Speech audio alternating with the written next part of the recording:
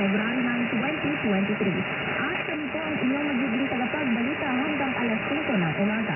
Ako po si Jenny Mendez at ako naman si Hala Lodivito.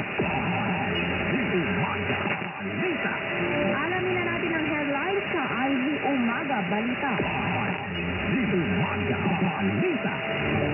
Tibok, kumpiyansang handa ang Pilipinas sa posibleng pagsama ng Gabilya.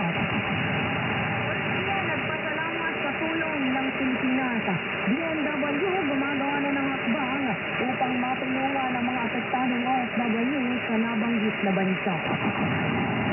Pangulong Marcos dumating na sa Japan upang talakayin ang mahalagang isyu at mapanatili ang matatag na ugnayan ng dalawang bansa.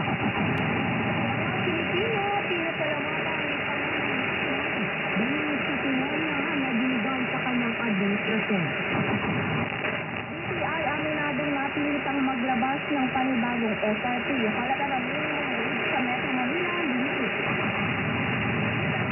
Dagat at samang patay matapos ang pagbuho ng isang minahan sa Burkina Faso. At sa ating sports news, si Robert Morris pumirma na ng kontrata sa ilalim ng Northport Batang Pier.